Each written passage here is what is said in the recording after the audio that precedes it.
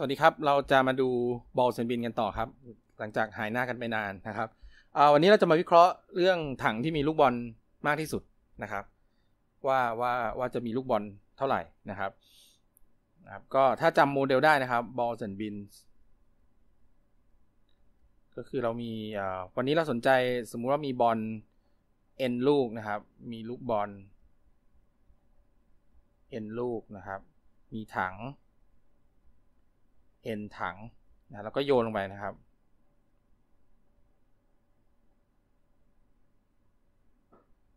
นะครับ ถามว่า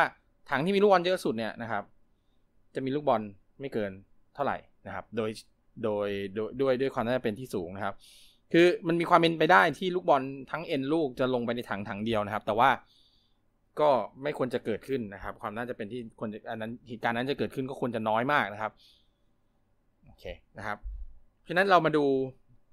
เราจะพยายามวิเคราะห์โดยใช้เครื่องมือเท่าที่เราเราพอทราบนะครับ เราคงจะไม่ได้ใช้อะไรที่มันหรูหรามาก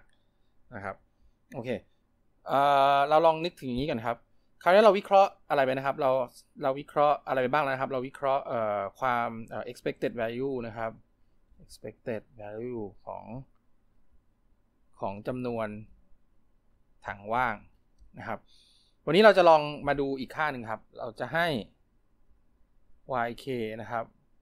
เป็น random variable นะครับ แทนจำนวนถัง ที่มีลูกบอล มากกว่าเท่ากับ k ลูกนะครับ เราจะเราจะวิเคราะห์ expected value ของ yk ดูนะครับ นี้ถ้าเราตั้งค่า k สูงพอนะครับ ตัว expected value ของ yk yk เนี้ยก็จะน้อยมากนะครับ พอน้อยถึงค่าค่าหนึ่ง ด้วยตัวเชิญตัวตัว Markov inequality ซึ่งซึ่งเราพูดไปนิดนึงคราวที่แล้วเนี่ยนะครับ เราก็จะบอกได้ว่าเออความน่าจะเป็นที่มันจะเกิดขึ้นเนี่ยเนี่ยก็น้อยไปด้วยนะครับ เราก็จะวิเคราะห์ตัว expectation ของ yk นี่เองนะครับโอเค ทีนี้เราจะวิเคราะห์ yk เนี่ย ผมขอถ้าเราทำแบบจำคราวที่แล้วได้ไหมครับ เราก็จะพยายามวิเคราะห์แบบนี้ครับ แทนที่เราจะวิเคราะห์ เราต้องการจะวิเคราะห์ expected value ของจำนวน ถังว่างใช่ไหมครับ เราก็ไปดูว่าความน่าจะเป็นที่ถังใบที่ 1 จะว่างเป็นเท่าไหร่นะครับเราก็สร้างตัว random variable ตัวเล็กๆ ขึ้นมานะครับ เป็น indicator random variable เราก็ใช้วิธีคล้ายๆกันครับ ผมก็จะให้ yki นะครับ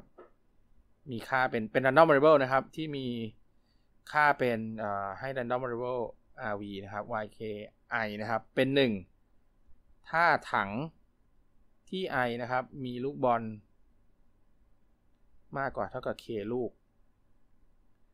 ส่วนเป็นศูนย์นะครับในกรณีอื่นๆนะครับโอเค เพราะนั้นเนื่องจากตัว y ki เนี่ยนะครับ เป็น indicator random variable เพราะนั้น expected value ของมันนะครับ โดยนิยามเนี่ย ก็จะเท่ากับ 0 คูณกับ pop ที่ y ki เป็น 0 นะครับ บวกกับซึ่งอันนี้ก็เป็น 0 ไปเลยนะครับ บวกกับ 1 คูณกับ pop ที่ y ki เท่ากันหนึ่งนะครับ ก็คือหลักๆก็คือเท่ากับความได้เป็นที่ถังใบที่ไอจะมีลูกบอลมากกว่าเท่ากับ k ลูกนั่นเองนะครับ เพราะนั้นเรามาดูความได้เป็นอันนี้กันครับนั้นถ้าเราดูครับ เรามีถังอยู่หลายใบเลยนะครับเต็มหมดเลยมี n ใบนะครับ ถ้าเราพิจารณาถังใบที่ i นะครับ ก็คือถังใบนี้ การที่มันจะมีลูกบอลมากกว่า k ลูกเนี่ยมันต้องมันต้องเป็นยังไงครับ มากกว่าเท่ากับ k ลูก แปลว่ามันต้องมีลูกบอลเอ่อสมมติว่ามีลูกบอล J ลูกนะครับ J ก็ต้องมีตั้งแต่ K K บวกหนึ่งไปเรื่อยนะครับ จนถึงจนถึง N นะครับ ถ้ามีลูกบอล J ลูก แปลว่าอะไรครับ แปลว่าในบอลบรรดาบอล N ลูกที่มีเนี่ยครับ มันจะต้องโดนโยนมาลงที่ถังนี้นะครับจำนวน K ลูกพอดีเลยนะครับ เราก็ลองมาวิเคราะห์กันดูครับว่าความน่าจะเป็นนี้มันจะเป็นเท่าไหร่กันนะครับ ก็ลองมาค่อยๆ ไล่ดูนะครับ นั้นเราหาความน่าจะเป็นที่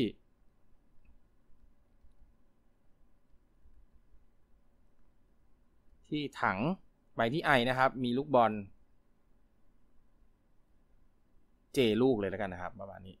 นะครับก็ถ้าเราวาดรูปก็มีถังเต็มหมดเลย ถังไอ แล้วก็มีในนี้มีลูกบอล มีเจลูกนะครับ เพราะนั้นเราก็ต้องมาดูครับว่าความน่าจะเป็นที่จะเกิดขึ้นเนี่ยมันมันจะคิดยังไงนะครับ สังเกตว่ามีลูกบอล J ลูกพอดีเป๊ะนะครับ เพราะฉะนั้นในบรรดาลูกบอล N ลูกนะครับ เหตุการณ์นี้จะเกิดขึ้นก็คือมีมีโอกาสเกิดขึ้นได้กี่แบบครับ แปลว่าลูกบอล N ลูกนะครับ ต้องต้องลงไปในนี้พอดี J ลูกนะครับ เพราะนั้นทั้งหมดก็เลือกได้ทั้งหมด N เลือก J แบบนะครับ ถึงถึงจะได้มีลูกบอลบอล J ลูกนะครับ ในแต่ละแบบเป็นไงครับ สังเกตว่าแต่ละแบบผมเลือกลูกบอล J ลูกลงไปในนี้แบบหนึ่งอีกลูกบอลอีก J ลูกลงไปอีกแบบสังเกตว่ามันเป็นเหตุการณ์ที่ไม่ไม่เป็นไงครับ ไม่เกิดขึ้นพร้อมกันนะครับ เพราะนั้นผมก็สามารถเอาความน่าจะเป็นของแต่ละเหตุการณ์ตรงนี้มารวมกันได้เลยนะครับ เพราะนั้นเป็นไปได้ ได้นี่แบบนะครับลูกบอล ลูกบอลเจลูก ลงถังไอได้แค่นี้แบบแล้วก็เป็นครับเป็นเอ่อไม่ไม่เกิดขึ้นไม่ไม่ไม่ทับกันนะครับ disjoy กันนะครับ เพราะนั้นความน่าจะเป็นก็คือ เป็นที่ แต่ละแบบที่บางแบบเกิดขึ้นนะครับ ที่บางแบบ เกิดขึ้นก็คือ n เลือก j คูณกับป๊อปที่แบบใดแบบหนึ่งเกิดขึ้น ทีนี้แบบรูปแบบหนึ่งที่จะเกิดขึ้นมันจะเกิดที่ไหนครับ แปลว่าลูกบอลที่เราเลือกไว้ j ลูกเนี่ยต้องลงถัง i หมด เพราะฉะนั้นก็มีทางเลือกทั้งหมด 1 ทางเท่านั้นเองจากจาก i จาก j ลูกนั้นนะครับ ส่วนลูกที่เหลือต้องต้องเป็นไงครับ ต้องต้องลงที่ถังอื่นหมดใช่ไหมครับเพราะนั้นอ่าเราจะนับว่าทำได้เกิดกี่แบบนะครับ เพราะนั้นก็ลูกบอลเจลูกเลือกทุกลูกได้เลือกได้แบบเดียวนะครับ คูณกับที่เหลือ n ลบ j นะครับลูกนะครับ ซึ่งเลือกได้ n ลบ1แบบนะครับ ทั้งหมดหารด้วยรูปแบบทั้งหมดที่เป็นไปได้ก็คือ n กำลัง n นะก็ได้ได้สมการนี้ออกมานะครับ หรือจริงๆหลายคนอาจจะไล่ออกมาได้อีกแบบหนึ่งนะครับ ซึ่งจริงก็เท่ากันก็คือ 1 ส่วน n ก็คือความน่าจะเป็นที่บอลเจลูกลงที่ถังไอพอดีเป๊ะก็มีเท่านี้นะครับ แล้วก็เนื่องจากอินดิเพนเดนต์กันเราก็คูณเข้าไปนะครับ ตรงนี้เราเข้าไปไล่ทีนะครับ นี่ก็จะเป็นยกกำลัง n ลบ j อะโอเค นั้นเราก็มาสรุปตรงนี้ครับก็คือ 1 ส่วน n ยกกำลัง j คูณกับ n ลบ1ส่วน n ยกกำลัง n ลบ j อันนี้คือความน่าจะเป็นที่มีลูกบอล j ลูกหล่นลงในถังที่ i อดีเป๊ะเลยนะครับ คือเท่านี้นะครับ เพราะฉะนั้นถ้าเราจะมาดูว่า expected value ที่ความได้เป็นที่ถัง J ถัง I นะครับ จะมีลูกบอลตั้งแต่ K K บวกหนึ่งลูก K ลูกขึ้นไปเนี่ยจะเป็นเท่าไหร่นะครับ ก็คือเท่าอันนี้ครับ เพราะนั้นก็ ผมก็จะเอาจากที่เราวิเคราะห์มาเนี่ยนะครับ ค่อยๆไล่เพิ่มเติมไปนะครับ ให้มันซับซ้อนขึ้นนะครับ มีลูกบอลมากกว่าเท่ากับ K ลูก ก็คือก็จะเป็นเราต้องซัม J นะครับ J เท่ากับเท่าไหร่ครับ k จนถึง n นะครับ ของความน่าเป็นอันเมื่อกี้นะครับ ก็คือ n เลือก j นะครับ คูณกับ 1 ส่วน n ยกกำลัง j คูณกับเท่าไหร่ครับ1ลบ1ส่วน n ยกกำลัง n ลบ j อะนะครับ เพราะนั้นอันนี้ความน่าเป็นที่เราต้องการนะครับ เพราะนั้น expected value ก็เท่ากันนี้พอดีเลยนะครับ value ของ y i k เท่ากันนี้นะครับโอเค เดี๋ยวเราจะพยายามต่อสู้กับนิพจน์เนี่ยนะครับ ให้ออกมาเป็นอยู่ในรูปที่เราจัดการได้ง่ายนิดนึงนะครับ ตอนนี้รูปรูปฟอร์มมันค่อนข้างจะสาสาหัสนิดนึง จะหาค่าอะไรออกมาเนี่ยค่อนข้างค่อนข้างจะยากนะครับ เราจะหา upper bound ของ expression นี้นะครับ ให้ให้มันอยู่ในรูปฟอร์มที่เราเอามาจัดการได้ง่าย ๆนะครับ ก็ทิ้งรูปนี้ไว้ก่อนนะครับ เรามารู้จักกับการประมาณค่าตัว binomial coefficient กันสักนิดหนึ่งนะครับเห็นไหมครับนั้นเราจะดูเทอมนี้ก่อน เทอมอื่นๆมันยกกำลังกันมันโดยมากมันจะไม่ค่อยลำบากมากครับนะครับแต่ว่าเทอมนี้มันเนื่องจากมันมันจริงๆ แล้วข้างในค่ามันเป็น factorial นะครับ มันจะมีมีความยุ่งนิดนึงนะครับเพราะนั้นเรามาดูการประมาณค่าของไอตัวนี้กันนิดนึงก่อนนะครับโอเคนะฮะก็นั้นเดี๋ยวเราแล้วค่อยกลับมาดูสมการนี้อีกทีนึงเอ่อตัวตัว expression อีกทีนึงครับมาดู n n เลือก k ครับ n เลอก k เคเนี่ยนะครับ เวลาเราเจอเนี่ย มันจะมีสองค่าที่เราข้างที่เราเอาประมาณค่าได้นะครับ แล้วเรานิยมใช้กันนะครับ อันนึงก็คือ n ส่วน k ยกกำลัง k อันนี้เป็นตัว lower bound ตัว upper bound จะเป็นนี่ครับ e n ส่วน k ยกกำลัง k นะครับ ซึ่งเดี๋ยวเราจะใช้ใช้ข้างนี้นะครับ เพราะเราต้องการได้ upper bound นะครับ lower bound เนี่ยพิสูจน์ได้ไม่ยากนะครับ ไล่ไล่นิดนึงก็พอออกแล้ว ตัว upper bound นี่จะยุ่งนิดนึงนะครับ ตัวตัว upper bound จะยุ่งนิดนึง ทีนี้เราจะพิสูจน์ยังไง ผมผมจะพิสูจน์ตัวตัว upper bound ให้ดูนะครับ โอเค นี่เราพิสูจน์ยังไง เออเราก็ลองมาเขียนกันดูก่อนครับงั้นเดี๋ยวจะผมจะพิสูจน์ข้างนี้นะครับ โอเค เราก็มาดูกันนิดนึงครับ เอ่อ n เลือก k n เลือก k นี่มันมันมันมันสมการมันเป็นยังไงนะครับ ก็คือ n fact ส่วน n ลบ k fact หารด้วย k fact ใช่ไหมครับ ซึ่งอันนี้ก็จะเท่ากับ เอ่อเดี๋ยวนะครับ n ลบ n ลบ k fact อ่าโอเค เพราะนั้นก็อันนี้ก็จะเท่ากับตัวตัวนี้กับตัวนี้ก็จะตัดกันเหลือเป็นเอ่อเป็นอะไรครับ n คูณกับ n ลบ1คูณกับ n ลบ2คูณไปเรื่อยๆจนถึง n ลบ k บวก1นะฮะส่วนข้างล่างก็จะเป็นเอ่อเท่าไหร่ครับ k คูณกับ k ลบ1คูณกับ k ลบ2คูณไปเรื่อยๆนะครับ จนถึงเอ่อเท่าไหร่ครับถึง1นะครับ นี่ตัว lower bound เนี่ยสังเกต ถ้าเรากระจายโพจน์ออกมาเราจะเห็นตัว lower bound ค่อนข้างชัดเจนก็คือว่าเทอมเทอม n เลือก n n ส่วน k เนี่ยนะครับ จะเป็นเทอมที่มีค่าน้อยที่สุดละนะครับ เอ๊ะหรือเปล่านะหนึ่งส่วนสองสองส่วนสามสามส่วนสี่อ่านะครับ n ส่วน k เนี่ยจะเป็นเทอมที่มีมีค่าน้อยสุดละนะครับ ถ้า n มากกว่ามากกว่าเท่า k นะครับ ก็ก็จะได้ได้เทอมนี้ออกมานะครับ ก็จะมี k เทอมพอดีแต่ แต่ข้างนี้จะจะยุ่งนิดนึงครับ ข้างนี้จะยุ่งนิดนึงนะครับเราก็จะค่อยๆดูว่าบาไปนะครับ เนื่องจากเทอมข้างหลังนี่มันมากมันน้อยกว่า n หมดเลยนะครับนั้นตรงนี้ก็คือจริงๆก็จะถ้าเราแทนด้วย n กำลัง k มันก็จะจะเยอะกว่านะครับ ส่วนส่วน k fact นะครับเทอมนี้นะครับ ทีนี้เดี๋ยวเราจะพิสูจน์ว่าตัว n ยกกำลัง k ส่วน k fact เนี่ยนะครับ อันนี้ไม่เกิน e n ส่วน k ยกกำลัง k นะครับ ซึ่งเดี๋ยวเราจะจะจะพิสูจน์ข้างนี้นะครับ ทีนี้เอ่อถ้าเราดูข้างนี้เนี่ยนะครับนี่นี่คือเป้าหมายเรานะครับ เป้าหมายเรา เป้าหมายเราจริงๆตรงนี้ลองไล่ดูนิดนึงอันนี้มันก็คือเอ่อ e ยกกำลัง k คูณกับ n ยกกำลัง k ส่วน k ยกกำลัง k นะครับนั้นตัว n กำลัง k เนี่ยมันก็อยู่ตรงนี้อยู่แล้ว เพราะนั้นเราสนใจแค่ว่า e กำลัง k ส่วน k กำลัง k เนี่ยเอ่อมากกว่า 1 ส่วน เอ่อเท่าไหร่นะครับ k fact หรือเปล่านะครับเห็นไหมฮะ เพราะฉะนั้นเดี๋ยวผมขอไล่ขอไล่ให้ดูนิดนึงก่อนแล้วกันนะครับ เรามีเอ่อเท่าไหร่นะครับ n กำลัง k ส่วน k fact นะครับ แต่เรารู้ว่าเอ่อเห็นไหมฮะ นี่คือเทอมที่เราต้องการ ผมเคลมแล้วกันนะครับ เคลม อันนี้ไม่เกิน e n ส่วน k ยกกำลัง k นะครับโอเคซึ่งถ้าเราแสดงว่า proof นะครับ proof เลยนะครับ ถ้าแสดงได้ว่า แสดงได้ว่าเอ่ออะไรนะครับเอ่อหนึ่งส่วน k fact นะครับ น้อยกว่าเท่ากับเอ่อ e ยกกำลัง k ส่วน k ยกกำลัง k นะครับ เราก็จะได้เอ่อเคลมก็จะเป็นจริงนะครับ เนี่ยจริงนะครับโอเค ทีนี้อันนี้มันจะจริงได้ยังไงอ๋อโทษครับ อันนี้เป็น k ยกกำลัง k นะครับโทษทีนะครับเคลมก็จะจริงนะครับ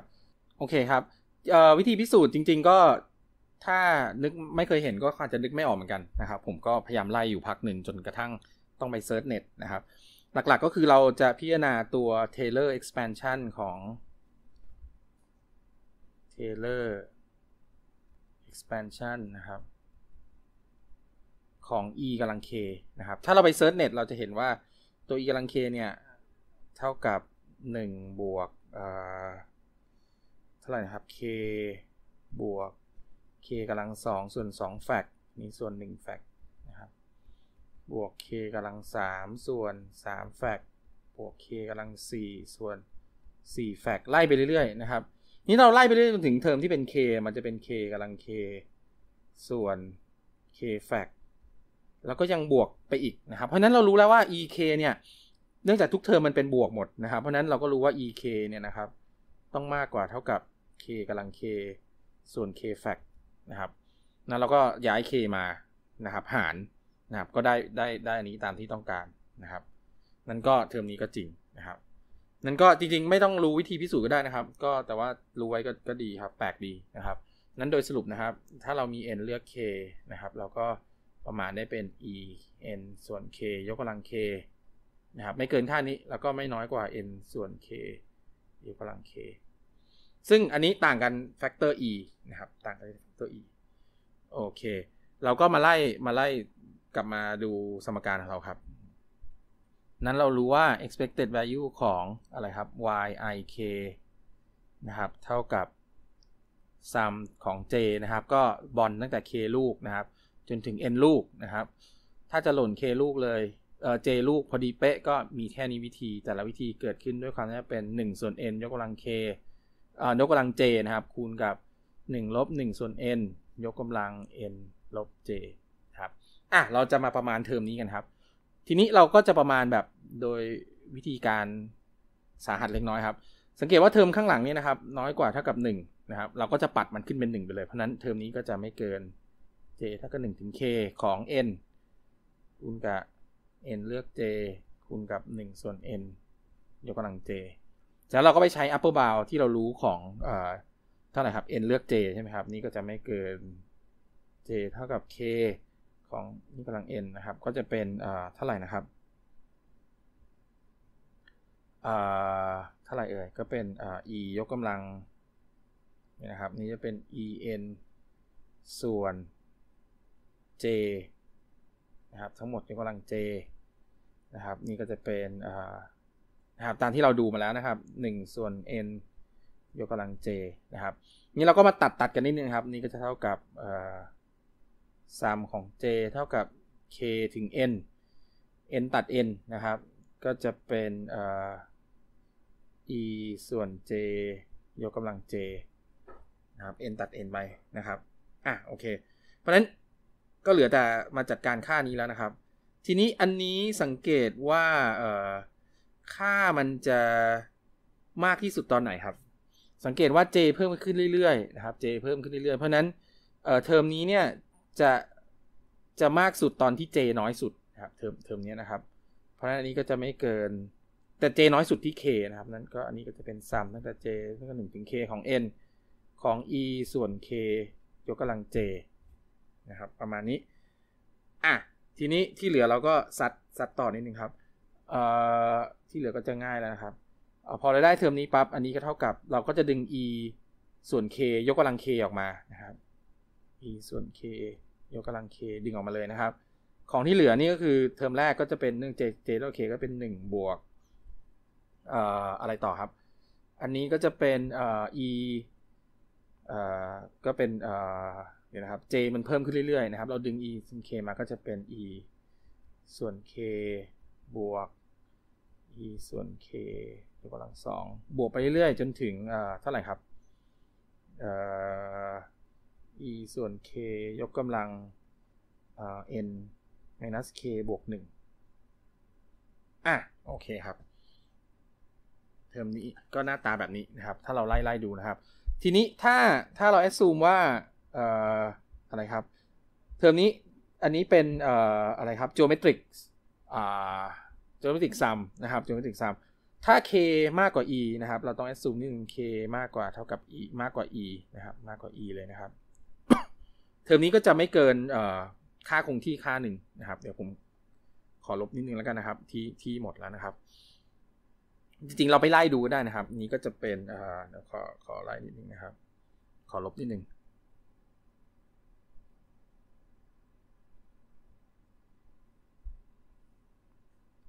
ก็จะจุดจุดจุดจุดอันนี้ไม่เกินอ่า e ส่วน k นะครับ ยกกำลัง k นะครับ คูณกับ 1 บวก e ส่วน k บวก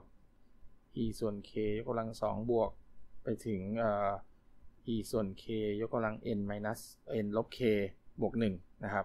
ซึ่งอันนี้ก็จะไม่เกิน e ส่วน k ยกกำลัง k อันนี้ก็คิดว่ามันซ้ำไปเรื่อยๆ จนถึงอวกาศเลยก็ได้นะครับ 1 บวก e ส่วน k บวก e ส่วน k square บวกไปเรื่อยๆ นะครับ ไม่จำกัด อันนี้ก็จะเท่ากับ e ส่วน k ยกกำลัง k อันนี้ก็คืออ่าหนึ่งลบหนึ่งลบ e ส่วน k นะครับ ซึ่งก็เป็นค่าค่าคงที่แหละ ค่าหนึ่งนะครับถ้าค่าคงที่ c คูณกับ e ยกกำลัง k ยกกำลัง k โอเคนะครับ ก็เราก็ได้ค่าค่านี้มานะครับ อันนี้คือ expected value ของ y เอ่อ i yki นะครับ คือจำนวนถังว่าง นะครับที่จำนวนถังนะครับที่มีลูกบอลอย่างน้อย k ลูกนะครับเอาไม่ใช่ความน่เป็นที่ถัง i จะมีลูกบอลอย่างน้อย k ลูก ก็จะไม่เกินค่านี้นะครับโอเคเพราะฉะนั้นถ้าเรามานับทุกถังนะครับ นับทุกถังนะครับ นับทุกถังได้เท่าไหร่นะครับ เราก็ได้ว่า expected value ของ yk นะครับ ก็เท่ากับ expected value ของ y เนื่องจาก yk นะครับ มันคือซัมของ y ki i เท่ากับ1ถึง n นะครับ แต่ด้วย linearity of expectation นะครับ นี่ก็คือซัมของ i เท่ากับ1ถึง n ของ expected value ของ y ki ซึ่งก็อันนี้ก็คือไม่เกินเท่าไหร่ครับ n คูณกับ e ส่วน k ยกกำลัง k คูณกับค่าคงที่ค่าใดค่า 1 นะครับ ซึ่งขึ้นกับ e ส่วน k นะครับ ถ้า k มากกว่า e นะครับ ซึ่ง k ก็3 4 5ก็มากกว่า e แล้วนะครับ เราก็ไม่ค่อยกังวลมากนะครับ นี้เราต้องการให้ค่านี้เนี่ยมันน้อย น้อยๆนะครับ เช่นเอ่อเช่นเอ่อ0.0001นะครับ หรืออะไรก็แล้วแต่เนี่ยเราก็ต้องปรับค่า k สังเกตว่าถ้ายิ่ง k เยอะนะครับ เทอมนี้ก็จะยิ่งน้อยไปด้วยนะครับ เทอมนี้ก็ยิ่งน้อยไปด้วยนะครับ ถ้า k เยอะ k เยอะ expected value ของ y k ก็จะน้อยไปด้วย ถามว่า k ต้องเยอะแค่ไหน expected value ของ y k มันถึงจะน้อยมากๆนะครับอะนี่คือคำถามที่เราพยายามจะตอบกันนะครับ เราลองมาแทนค่ากันเล่นดูสักนิดนึงครับ เราต้องการให้มันน้อยแค่ไหนก่อนเอางี้คำถามคือเราต้องการให้มันน้อยแค่ไหน คือยิ่งน้อยก็เราเราเดี๋ยวเราจะพิสูจน์ว่าถ้ายิ่งน้อยเนี่ยความน่าจะเป็นที่ตัวด้วย Markov inequality ที่เราพูดข่าวที่แล้วเนี่ยครับ วันนี้เราคงต้องเราคงจะถ้าเวลาเหลือเราคงจะพิสูจน์กันนะครับ ด้วยความน่าจะเป็นถ้ามันถ้า expected value มันน้อย ความน่าจะเป็นที่ตัวแปรสุ่มนั้นจะมีค่าเป็นหนึ่งเนี่ยก็จะน้อยไปด้วยนะครับเพราะฉะนั้นถ้าเราต้องการให้ค่านี้น้อยๆ เราก็ก็จะโอเค ทีนี้ต้องน้อยแค่ไหนนะครับคำนี้คำถามคือต้องน้อยแค่ไหนครับเราก็จะสมมุติว่าให้มันน้อยประมาณนี้ครับ สมมติเราให้เราอยากให้ yk เนี่ย น้อยกว่า สมมุติว่าเป็น1ส่วน n นะครับการที่มันน้อยกว่า1ส่วน n เนี่ยเราจะได้ว่าความน่าจะเป็นที่ความซวยจะเกิดขึ้นเนี่ย ก็น้อยกว่า 1ส่วน n ไปด้วย1ส่วน n ก็คือยิ่ง n เยอะ ความความน่าจะเป็นก็จะยิ่งน้อยยิ่งน้อยน้อยไปด้วยนะครับ เหตุการณ์นี้เราจะเรียกว่าเป็นเกิดความความเศร้าจะเกิดขึ้นเหตุการณ์ที่เราต้องการเนี่ยจะเกิดขึ้นด้วยความน่าจะเป็นที่ที่น้อยมากนะครับ เพราะนั้นเป้าหมายที่เราต้องการคือก็จะเกิดขึ้นด้วยความน่าเป็นที่สูงมาก ก็เขาเรียกว่าเป็น high probability นะครับ เพราะนั้นเเราจะเราต้องการได้บาวเนี่ยครับหนึ่งส่วน n หรือ 1 ส่วน n ยกกำลัง c สำหรับ c พรามบางค่านะครับ เป็น polynomially small ใน n นะครับ โอเคถ้าเราต้องการได้ค่านี้เราก็ต้องการหา หา k นะครับ ที่ทำให้ e ส่วน k ยกกำลัง k นะครับ คูณค่าคงที่บางตัวเนี่ยน้อยกว่า 1 ส่วน n เอา 1 ส่วน n ก่อนแล้วกันนะครับ 1 ส่วน n นะครับ มันต้องเป็นประมาณเท่าไหร่ครับ สังเกตว่าถ้าถ้าเราไม่คิดอะไรมากนะครับ ถ้า k มากกว่า 2e อันนี้ก็คือน้อยกว่า 1 ส่วน 2 นะครับ ถ้า k มากกว่า 2e นะครับ เติมนี้ก็คือ1ส่วน2แล้วก็1ส่วน2ยกกำลัง k ก็ต้องเท่าไหร่ถึงจะน้อยกว่า n ครับ ก็ k ต้องประมาณ log n ครับแต่จริงๆเราได้มีบาวที่ดีกว่านี้ได้ครับ เราลองเขียนเราตัด c ไปก่อนเลยนะครับ c เดี๋ยวมันก็จะเป็นเศษมันเล็กๆน้อยๆนะครับ ไม่ค่อยไม่ค่อยมีปัญหาอะไรมาก เดี๋ยวผมจะจะเขียนทั้งหมดให้อยู่ในรูปของเอ่อ e ยกกำลังบางค่านะครับ เพราะว่ามันจะทำให้เราดูง่ายขึ้นนะครับ เอ่อเดี๋ยวนะครับ e ยกกำลัง k นะครับ e ส่วน k ยกกำลัง k เนี่ยเขียนอยู่ในเป็น e ยกกำลังอะไรได้นะครับ ก็เป็น e ยกกำลัง ln ของของ e ส่วน k ยกกำลัง k เนาะอันนี้ก็ตรงไปตรงมานะครับ แต่ล็อกของอันนี้คืออะไรก็เป็น e ยกกำลังเอ่อ k คูณกับ e นะครับ ก็เป็น ln e ซึ่งก็คือ 1 นะครับ แล้วก็ลบด้วย ส่วน k นะครับก็เป็น ln k ได้อันนี้ออกมานะครับ ซึ่งอันนี้ก็เท่ากับ e ยกกำลัง k คูณกับ ln e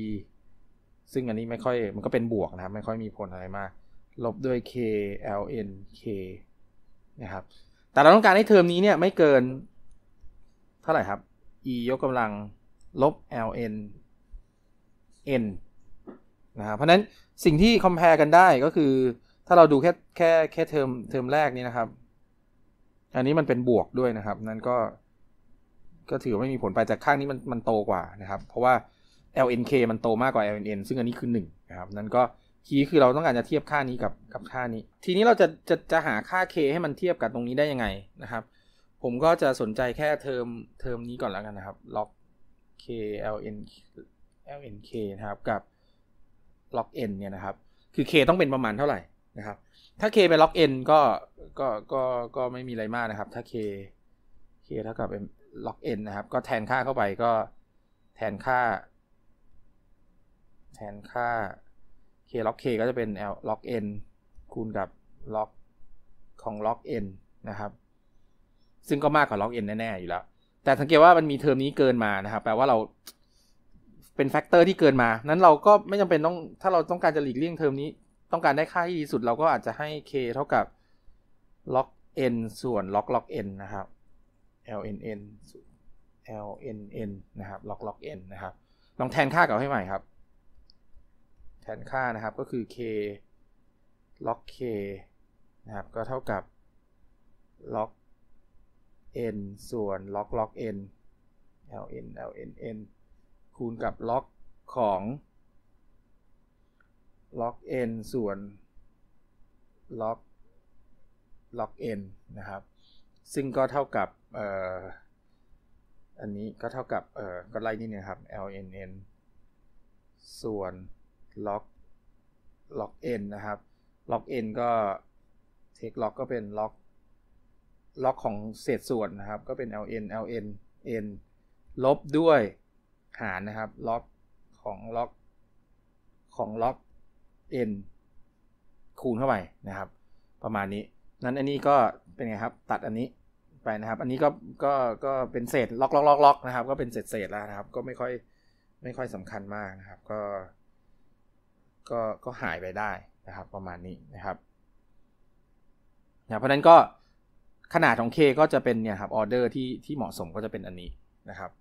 เพราะฉะนั้นโดยสรุปนะครับ ถ้าเราลองไล่ๆดูนะครับ เราว่าบวกบวกบวกลบๆนะครับ ก็สมการมันก็จะออกมาได้ เพราะนั้นก็ K เนี่ย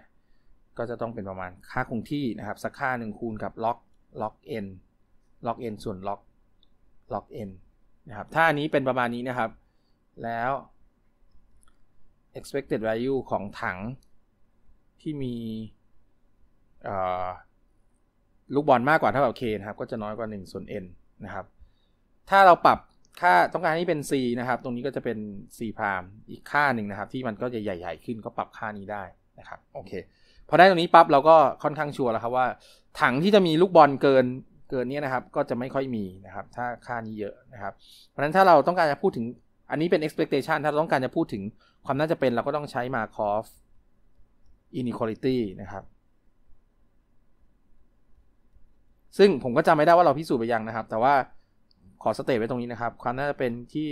ตัวแปรสุ่มนะครับ จะมากกว่าเท่ากับ 1 นะครับ ก็จะน้อยกว่า expected value ของตัวแปรสุ่มนั้นนะครับ ถ้า random variable x นะครับ เป็น non negative คือไม่เป็นลบนะครับ ประมาณนี้นะพอได้ตรงนี้ปั๊บเราก็มาแทนค่าได้ครับว่า ความน่าเป็นที่เราจะมี เรารู้ว่า expected value ของคือของจำนวนถังเนี่ยไม่เกินค่านี้นั้นความน่าเป็นที่จะมีอย่างน้อย 1 ถังนะครับ ก็คือป๊อปค่านี้นะครับ มองมอง yk เป็น x นะครับ มอง yk เป็น x นะครับ ก็จะไม่เกินอันนี้ด้วยนะครับ expected value ของ yk นะครับโอเคนะครับเพราะนั้นบาวของจจำนวนถังที่มีบอลเยอะสุดก็ประมาณนี้นะครับ log n ส่วน log log n นะครับโอเค ตอนนี้ก็คงเอาไว้แค่นี้ครับ ตอนหน้าเราคงจะได้ ถ้าเรายังไม่ได้พิสูจน์มา c o อิน inequality ตอนหน้าเราคงมาพิสูจน์กันครับ แล้วก็ดูตัวอย่างอื่นนะครับ โอเคครับ ขอบคุณครับ สวัสดีครับ